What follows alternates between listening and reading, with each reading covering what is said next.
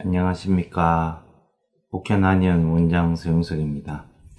어, 오늘 제가 말씀을 드릴 쥐라는 테니스 엘보, 골프 엘보, 즉 외측 상과염이라고 하는 팔꿈치 관절염에 대해서 말씀을 드리도록 하겠습니다. 어, 모든 관절염의 기본은 관절을 많이 사용하는 것입니다. 팔꿈치를 이렇게 꺾은 상황에서 쓰는 동작을 하게 되면 이 상완골이 아, 내외전하면서 이렇게 팔목을 쓰는 동작을 하게 되면 팔꿈치 쪽에 부하가 많이 생기게 됩니다. 테니스를 치는 분들이 주로 많이 온다고 해서 테니스 엘보라고 하고 골프 치는 분들은 이 내측으로 통증이 온다고 해서 이렇게 이름이 붙여졌습니다. 그런데 질환은 음, 외측 상과염이라고 이야기를 합니다. 간단하게 테니스 엘보 진단하는 방법에 대해서 말씀을 드리도록 하겠습니다. 일단 이 전환을 굽힌 상황에서 이 팔꿈치 부분을 쥐은 상황에서 제가 만약에 환자분이 오시면 이 전환을 굽힌 상황에서 이 외측 상과 쪽 이쪽 부분을 이렇게 눌렀을 때 통증이 아 이렇게 표현을 하시면 거의 팔꿈치에 관절염이 생긴 거라고 생각하시면 됩니다. 미약하게 생긴 경우는 어떻게 하냐면 이렇게 쥐인 상황에서 팔꿈치를 이렇게 돌려보면 통증이 극심하게 됩니다.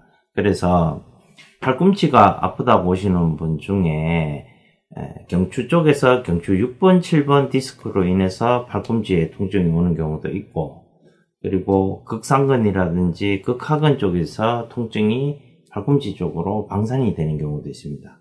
간혹 가다가 어깨 관절이 굳어서 팔꿈치 통, 쪽으로 통증이 오는 경우도 있습니다. 그러한 경우에는 금방 이렇게 말씀드렸듯이 이렇게 팔꿈치 관절을 쥐은 상황에서 팔꿈치를 돌려보면 통증이 그렇게까지 심하지 않습니다. 그런데 테니스 일부라고 오시는 분들 같은 경우는 일단 이렇게 쥐으면 그 자체로 통증이 심하고요. 거기서 손목을 이렇게 움직여 보라고 하면 잘 예, 통증 때문에 못 움직이는 경우가 꽤 많습니다. 팔꿈치 엘보로 엘보 통증으로 오는 경우에는 주로 운동해서 운동을 심하게 해서 통증이 오는 경우도 꽤 많이 있습니다.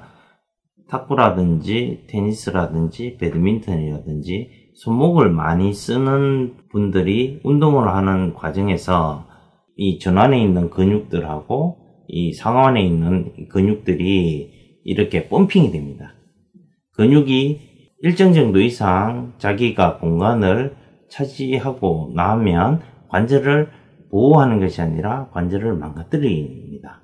그래서 여기에 팔꿈치 주위에 있는 근육들이 많이 펌핑이 된다고 해서 근육이 예, 많이 생긴다고 해서 좋은 게 아니라 일정 정도 이상 근육이 많이 생성되고 나면 관절의 움직임을 제한을 하게 됩니다.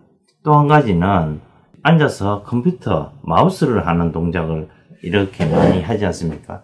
그러면 이 전환을 약간 굴곡시킨 상황에서 손가락과 손목을 많이 쓰기 때문에 여기가 안정인자가 됩니다. 그러면 이렇게 고정이 된 상황이 돼버리면 팔꿈치가 다 펴지지가 않고 이렇게 굽힌 상황이 되어버립니다. 그렇게 되면 서 있게 되면 오른쪽 팔꿈치가 이렇게 돌아가게 됩니다.